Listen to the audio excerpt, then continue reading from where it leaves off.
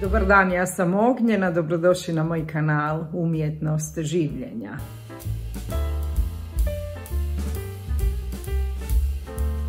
Ovladamo tehnikom, osiguramo si mirne trenutke, vodeći računa da nikad mi ne postanemo manipulatori u toj obrani sebe od predatora. Ovo je ključno i mislim da se o ovome jako malo govori.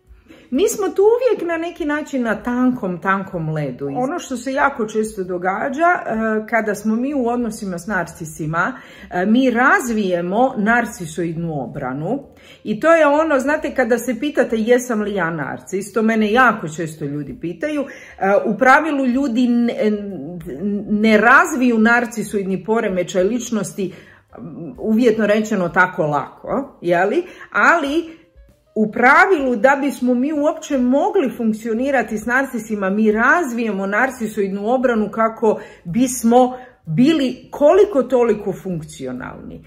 E, problem je tu i tu znači bude ona zamka što smo mi duže u tim odnosima, što smo mi duže uronjeni u tu dinamiku odnosa, e, može se dogoditi da ta narcisoidna obrana e, nama bude moćna hrana egu, zato što pobjeđujemo narcisa.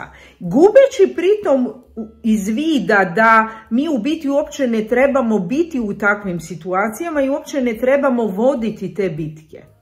I e, tu se može dogoditi onaj onaj opasni ona opasna transformacija da čovjek zapravo postane manipulator kao modus operandi zato što uviđa kako tom tehnikom lako vlada. Jer objektivno gledano manipulativne tehnike uopće nisu složene i komplicirane. One su vrlo, vrlo jednostavne. Međutim, da bi se provodile sustavno i redovito, e, čovjek mora bitno stišati svoj glas savjesti, a to u biti pogubno djeluje po dušu.